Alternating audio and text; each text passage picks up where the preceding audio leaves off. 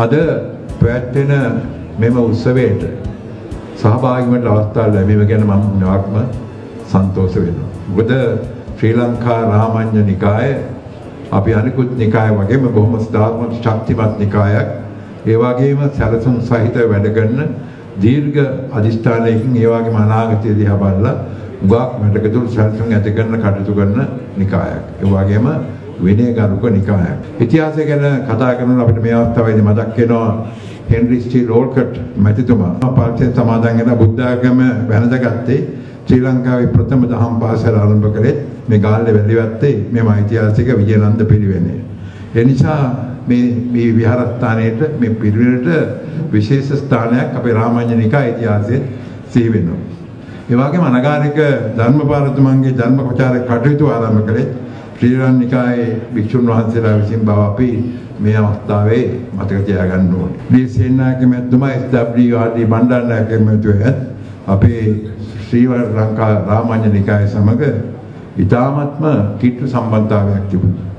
ඒ වගේම භික්ෂු අධ්‍යාපනය සම්බන්ධයෙන් විශාල උනන්දුවක් විශාල කැපවීමක් ශ්‍රී ලංකා රාමඤ්ඤ නිකාය තුළ තියෙනවා. අද මෙම මහා සංඝරත්නය අති ගෞරවනීය අති සම්භාවනීය සංඝරත්නය හමු වෙන මේ අවස්ථාවේදී. මම හිතුවා මේක අවස්ථාවක් කරගන්න. විශේෂයෙන්ම අපේ ආචාර්ය ඕමාල්පේ සෝවිචනහිමිපාන් වහන්සේ ඉතාමත්ම වැදගත් කරුණු දෙකක් සම්බන්ධයෙන් මේ මහා සංඝරත්නයේ මේ සභාවෙත් අවධානය යොමු කළා. ඒ පළවෙනි කණ්ඩ තමයි මේ දවස්වල මේ රටේ තියෙන විවිධ ප්‍රශ්න සම්බන්ධයෙන්. ඒ වගේම නිකාය තුළ විනය ඇති කිරීම සම්බන්ධයෙන් ඒ විනය ඇති කිරීම සම්බන්ධයෙන් ඒ නිකායවල තියෙන සම්මත කරලා තියෙන කටයුතු වලට ඒ යම් කිසි අධිකරණ බලයක් ලබා දෙනවා. ඉතින් අපි දන්නවා මේ සම්බන්ධයෙන් අපි අවුරුදු ගණනක් තිස්සේ 2015 ඉඳලා අපි මේ ගැන කතා කරා. අපි දන්නවා සමහර නිකායවල කතිකාවක් තියෙනවා අවුරුදු 50ට වැඩි පරණ. සමහර කතිකාවක් තියෙනවා අවුරුදු 40 25 කතිකා. මහානායක හමුදුරුවෝ බොහෝ දෙනෙක් අපිට මේ ගැන අපේ අවධානය යොමු කරලා තියෙනවා. නිකායවල ඒ නීති රීති තියෙනවා. නමුත් මේවා අධිකරණයට ගෙනිය හැමට ඉතින්දි බාධා වෙනවා. මොකද දැන් තියෙන අලුත් සමහර ලෝක නීති අනුව මිනිස්සු අයිතිවාසිකම් ගැන කතා කරනවා. ඒ නිසා මේ නිකායවලට මේ අධිකරණ නීතිය ලබා දීම සම්බන්ධයෙන් අපි විශාල උනන්දුවක් ගත්තා. ඒක පාර්ලිමේන්තුවේ පක්ෂ නායකයන්ගේ රැස්වීමට ඉදිරිපත් කරලා මේක සම්මත කරන්න අවස්ථාවේදී මේ රටේ අපේ ගෞරවනීය මහානායක ස්වාමීන් වහන්සේ නායක මහාන් වහන්සේලාට කියන්න ඕනේ මේ සම්බන්ධයෙන් රටේ සමහර කොටස් වලින් දේශපාලන විරෝධත්වයක් ආවා. සමහර භික්ෂුන් වහන්සේලාගෙන් දේශපාලනත්ව විරෝධත්වයක් ආවා.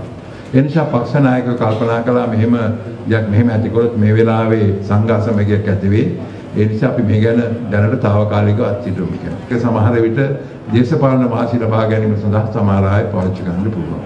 ඒක තමයි ඒ වගේම අපේ සමහර සංඝයා වහන්සේත් මේ සම්බන්ධයෙන් දීර්ඝ විශේෂ විවේචන ඇති කළා.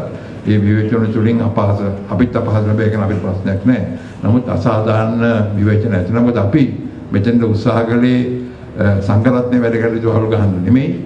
නමුත් සංඝර මහානායක හිමිපාණන් වහන්සේගේ ඒ වගේ නිකායවලට ඒ ශක්තිය ලබා දීම සඳහා අපි ඒ අධිකරණ බලය ලබා දීමේ පනත පාර්ලිමේන්තුවද ඉදිරිපත් කිරීම පමණයි අපි කළේ. ඒ නිසා මම නැවත වරක් ඔබ වහන්සේට කියනවා ඔබ වහන්සේලගේ ආශිර්වාදය ලැබෙනවා නම් ඒක කිසිම ප්‍රශ්නයක් වෙන්නේ නැහැ.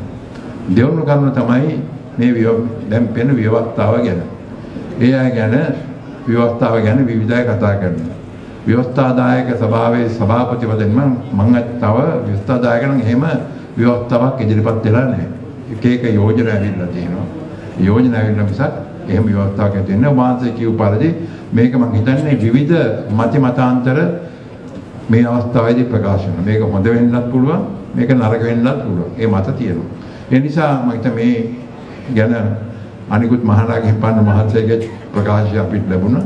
උන්වහන්සේ සියලු දෙනාම කරේ පුළුවන් නම් පාර්ලිමේන්තුවේ මූලිකත්වයෙන් සියලුම ජනාධිපතිතුමා අධිකාර ජනාධිපතිතුමා අග්‍රාමාත්‍යතුමා ප්‍රමුඛ සියලුම පක්ෂ නායකව කැඳවලා මේ සම්බන්ධයෙන් දවසක දෙකක විවරණයක් මේකට පක්ෂ අදහස් විපක්ෂ අදහස්, ඒ වගේම ද්‍රවිඩ පක්ෂවල අදහස් මේ ගැන කතා කරලා මේ සම්බන්ධයෙන් අවසාන තීරණයක් ගන්න. පිළිගැනීම නොපිළිගැනීම අපි ඒක බාර දෙන්න පුළුවන් ඒ ඇයිට. නමුත් දැන් ඊවන් දැන් ස්වාමින් වහන්සේලා දෙපාර්ශ්වයකට බෙදිලා මේ සමාධිය අපහාස කරනකොට අපිට යම් කිසි වේදනාවක් එනවා. ඒක අනවශ්‍ය දෙයක්. ඒ නිසා මේ සම්බන්ධව මම වහන්සේලාගේ අවධානය යොමු කරනවා. ඊටාම ඉක්මනින් මේ සම්බන්ධ කටයුතු කළා. මොකද මම බොහෝ අවස්ථාවල වර්තමානයේ ඉන්න අපේ දේශපාලන නායකයින් සියලු දෙනාට මම ගෞරවනීය ආයෝජනයක් කළා. ඒ ආයතන මම කරේ එතුමන්ලට කිව්වේ මේ දැවෙන ප්‍රශ්නයක්. මේක අරන් ලෝකේ සමහර පිටරට ඉන්න සමහර කොටස් මේකෙන් ආයුධ ප්‍රයෝජන ගන්නවා. ඒ නිසා අපිට මේ තියෙන ප්‍රශ්න මේ දැවෙන ප්‍රශ්න දැන් රටේ තියෙන සියලුම දැවෙන ප්‍රශ්න ව්‍යවස්ථා ප්‍රශ්නේ අනිකුත් ප්‍රශ්න දේවල් අපි ඔක්කොම මේ වර්තමාන පාර්ලිමේන්තුවේ තුල අපේ කාලේ අපි මේක විසඳලා දීලා අපිට ලබන අවුරුද්දේ පාර්ලිමේන්තුවේ පිට වෙන්න පුළුවන් නම් අපි ඊළඟ පරපුරට ඒක බාර දෙන්නේ නැතුව මම හිතන්නේ ඊළඟ පරපුරට මේ ප්‍රශ්න බාර දීම මහා පවක් කියලා මම විශ්වාස කරනවා. මේ ජ්‍යෙෂ්ඨ නායකවද පාර්ලිමේන්තුව තුළ ඉන්නවා.